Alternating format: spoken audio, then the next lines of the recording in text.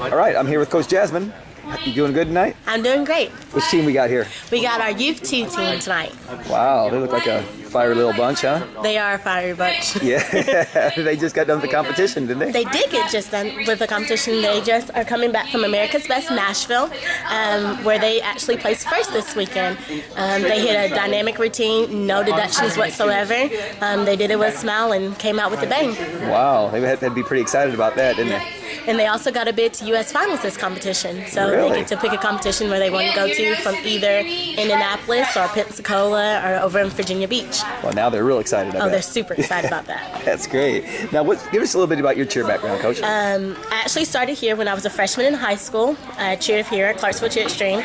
And then from here, I worked really hard after busting back hand handsprings over and over again um, to actually graduating and doing good here. And I went over and cheered at Austin Peay State University under Shandy Ellis Brown, where um, we finally took that program back to the collegiate level at Nationals in Daytona, where we came back and placed fifth place overall, which was a great thing for us. Wow, that is great. Now, um, how's the uh, transition been from, from competitor to coach? Um, from to coach, it's been a real smooth transition. I've always had um, a real good parent orientation behind me. They always backed me whatever I said. It was always really weird trying to get the older kids to say, hey, you're a coach now and you're not my peer.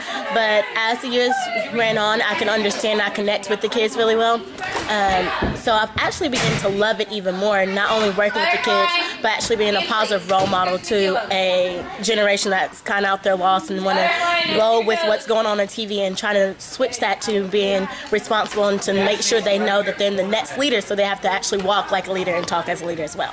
That, that's a great, great answer. Now, brag about your kids a little bit here. What do you got here? Oh, this group of kids have probably been together since they were minis.